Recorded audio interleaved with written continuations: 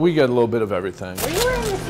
Car crashes, He's complaining of bilateral ankle pain. we get industrial events. What hurts? So people who fall off scaffoldings. We're gonna CAT scan your neck here, buddy. And then, of course, unfortunately, we get the urban violence. Hook him up to the monitor. the domestic violence, the gunshot wounds, the gang violence. Let's move them.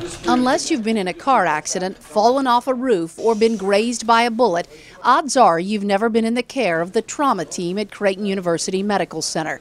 But make no mistake, inside these walls, the best and the brightest stand ready to save lives. The purpose of a trauma center is to do a very rapid, thorough assessment of patients who have been injured and to determine whether or not they have any life-threatening injuries. And it's a team approach that we use to take care of the whole patient.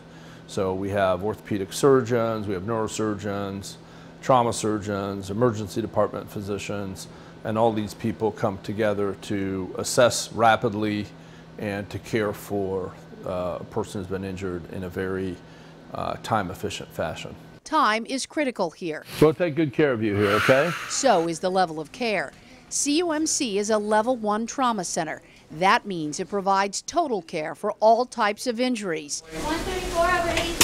There are fewer than 300 coast to coast, and Creighton's is open for business 24 hours a day, seven days a week. Trauma centers have been shown to improve outcomes in critically injured patients. And so, as a major metropolitan area that uh, includes not only our city, but Council Bluffs across the river and all the surrounding cities, you need trauma centers to take care of these patients.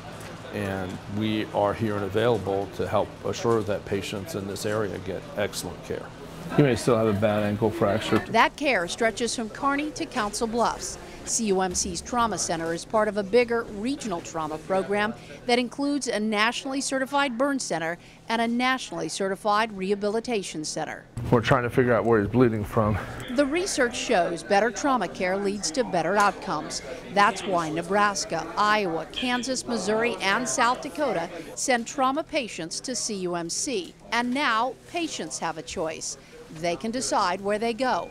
As a level one trauma center, CUMC offers the highest level of surgical and critical care. They'll get world-class care here. That if they come here, they, they need to know that the care that we will provide will be very thorough, as good as any care that they could get anywhere in the country, and that they'll be treated with dignity. And that's a promise from the dedicated team at CUMC, always ready to provide exceptional, compassionate care when your life depends on it.